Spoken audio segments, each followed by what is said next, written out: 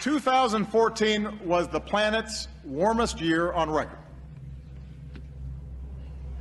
Now, one year doesn't make a trend, but this does. 14 of the 15 warmest years on record have all fallen in the first 15 years of this century. I've heard some folks try to dodge the evidence by saying they're not scientists, that we don't have enough information to act. Well, I'm not a scientist either. But you know what?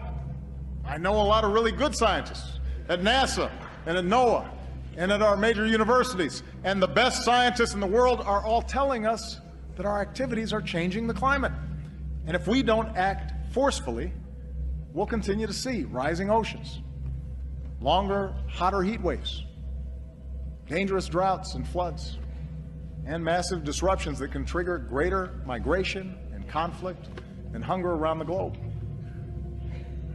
The Pentagon says that climate change poses immediate risks to our national security. We should act like it.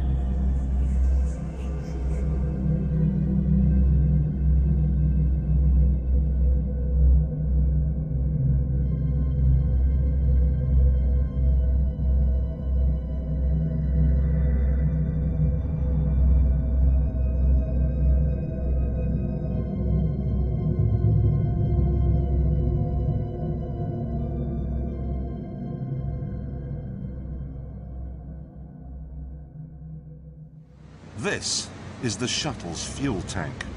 It may only be 130 miles to space, but to cover that distance, the engines will use half a million gallons of fuel.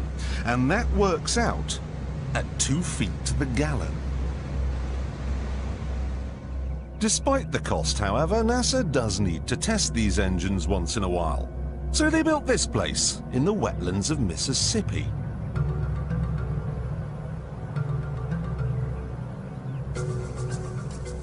The first thing they installed was a huge loudspeaker, through which they played white noise to simulate the sound of a rocket.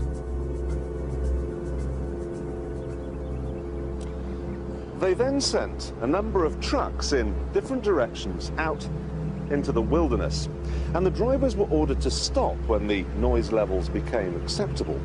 This gave them an imaginary boundary line, and anyone living on the inside of it was offered a simple choice. Stay, and you'll never hear another television program as long as you live. Or take the NASA shilling and get out. No one stayed, and NASA ended up with exactly what it wanted. 125,000 acres of nothing.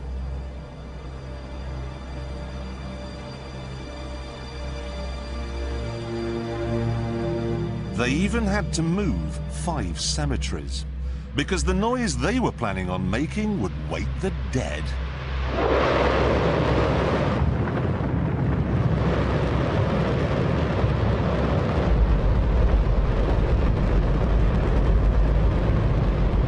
Uh, don't worry if you can't hear what I'm saying. Um, I couldn't even hear myself. This is the loudest sound you could possibly conceive. And, as it turns out, the cleanest.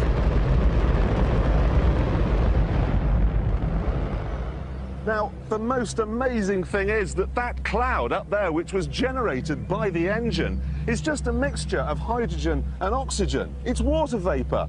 And in about an hour's time, someone in Mississippi is going to get wet washing. It will actually rain.